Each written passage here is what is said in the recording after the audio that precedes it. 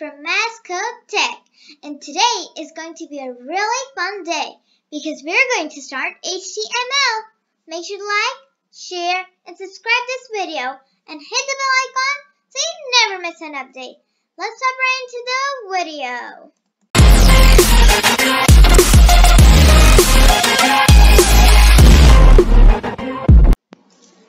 What is HTML? HTML is Hypertext Markup Language is a standard markup language for documents designed to be displayed in a web browser. It can be assisted by technologies. What is HTML used for? HTML allows a user to create and structure sec sections, paragraphs, headings, links, and block quotes for web pages and applications. How to use HTML.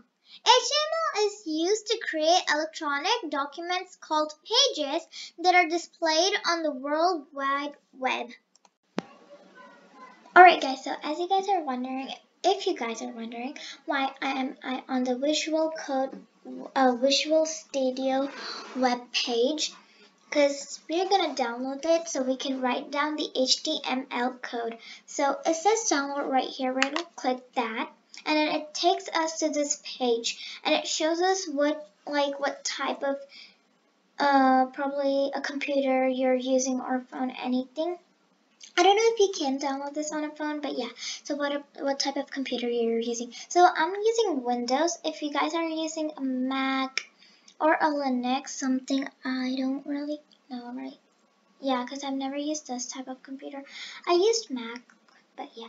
So uh, we're using Windows so let's click Windows and then it starts downloading for me. So it has two seconds four seconds oh my god how many seconds some seconds left to download. And then until so it is going to keep downloading and after it downloads I'm gonna see you guys. So yeah Okay guys, so I have opened Visual Studio Code. So that's how you install your Visual Studio Code. And then in our next video, we're going to show you all how to set up our Visual Studio Code. And then the for the downloading thing, the link will be in the description below. And then last thing, make sure to like, share, and subscribe this video.